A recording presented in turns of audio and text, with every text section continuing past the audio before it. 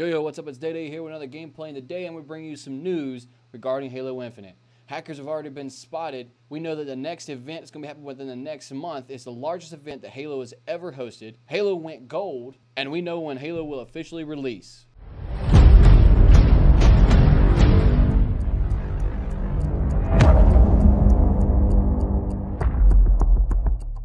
So this clip of the hacker was posted on Twitter by Dextro. We don't know if the hacker was banned yet or not, but it's very unfortunate that we're already seeing a hacker this early into the cycle.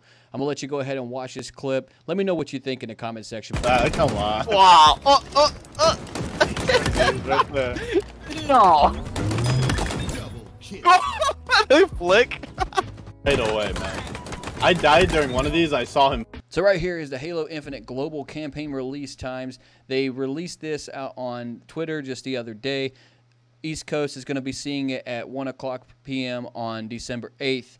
Uh, you're going to be seeing it on the West Coast at 10 a.m. on December 8th. And then if you're in the Midwest, you can expect to see it at noon on December 8th. Halo Infinite has officially gone gold. And what does that mean exactly? It means that the game is completely done and ready to be shipped out as of right now. Now, that can seem a little odd since we're so close to the game actually releasing, but believe it or not, in the development industry, that is pretty common. They want to take as much time as they possibly can to do all the final tweaks and everything before they officially classify it as gold and ready to ship.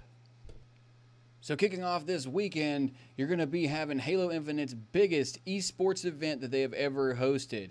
If you're wanting to watch that, you'll need to go to twitch.tv slash halo or youtube.com slash halo.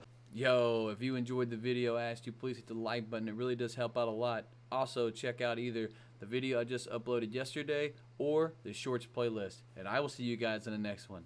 Peace and love.